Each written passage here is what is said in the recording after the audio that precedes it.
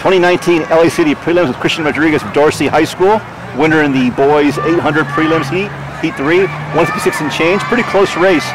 Christian, you mentioned, because this year you've improved quite a bit since last year, yeah. you mentioned the difference has been, you did cross country for the first time this year off season. Yeah. What was the reason for that?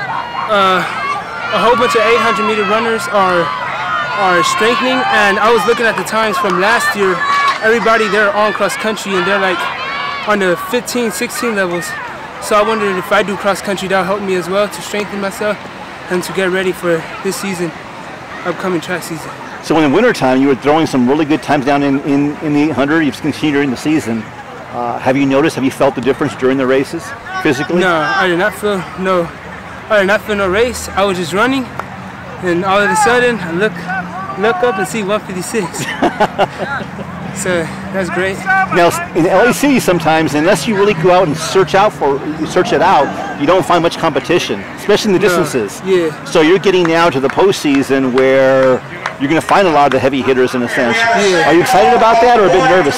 Or both? Both. I'm both. Because mm-hmm. I feel like I'm a PR myself. So even if I if I go to state now and win, I will be happy because I got like a PR. I, I know I'll have a PR because it's competition for me up there. And that would be a great experience for my first time. Mm-hmm. What do you think you need to work on in terms of what things in the 800 you really need to try and still address going down the stretch? Uh, only thing I need to do is keep my knees up. Uh-huh. My knees been like that, so I've been doing so many butt kicks. And the last 200, I need to speed up. Because the 600, every time when it's a 600, I get slower because like my back kicks, so that messes me up during like the whole 200, the whole last 200. Entering the stretch drive, have you hit all your season goals or is still something out there you're chasing after? I'm chasing after 152. 52? This year, yes. 152?